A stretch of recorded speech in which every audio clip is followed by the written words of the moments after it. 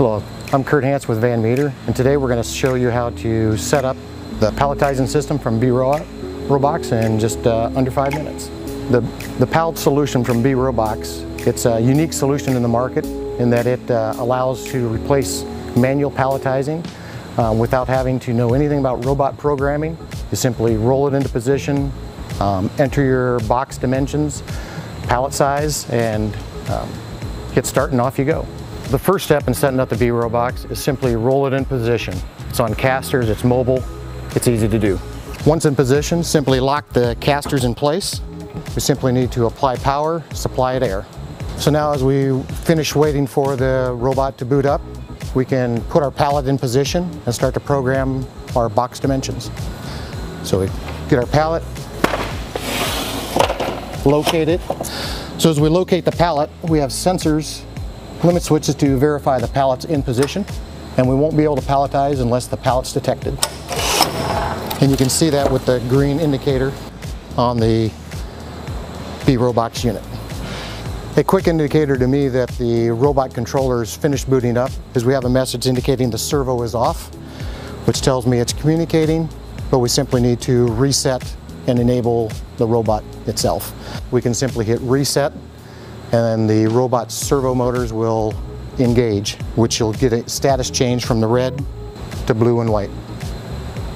So now we have to program in their box and pallet dimensions so we can start to palletize. Come over to the HMI and we create a new product. And we're going to change it from metric to English units.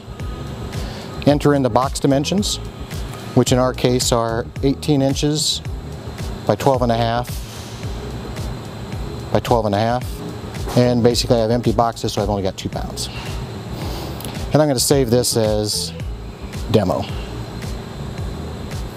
So going forward, we'll always have that um, recipe available to us.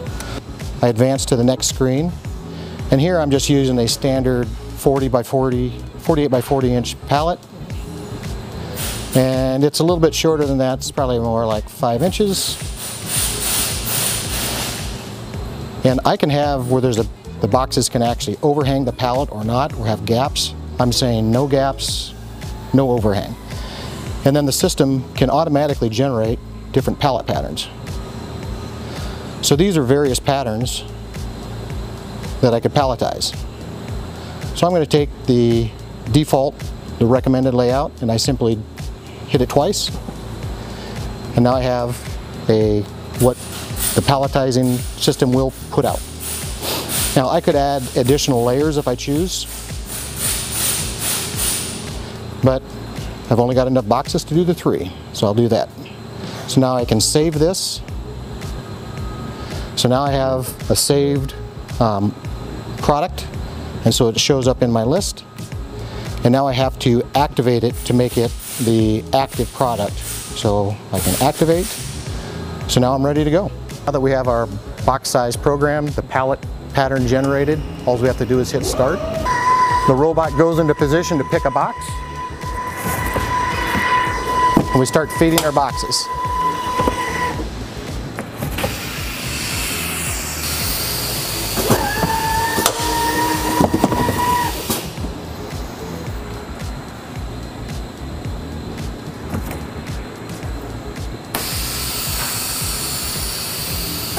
It shows the progression that we finished one layer, we're on box.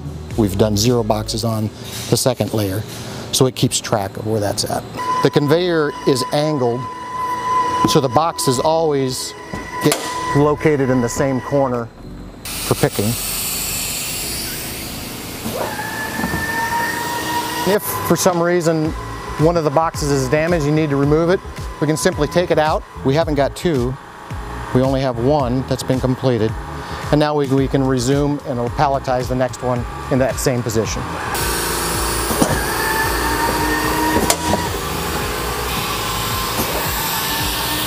Now we have our completed pallet. It's ready to go. We can see by the yellow flashing light that we the pallet is done and ready to be taken away. So now that the pallet is complete, if this pallet load is removed and a new pallet put in its place, the system will simply restart palletizing like it was before. So today we were simply palletizing on the left, but if we want, we could have enabled the right. And if a pallet were there, when it was finished with one, it would then move over to the other. Just a few simple steps, you can be up and palletizing in minutes without any knowledge of robot programming. If you have any questions about uh, beRobox, please reach out to your Van Meter account manager or myself or Zach Dotson in Minnesota, and we'd be happy to help.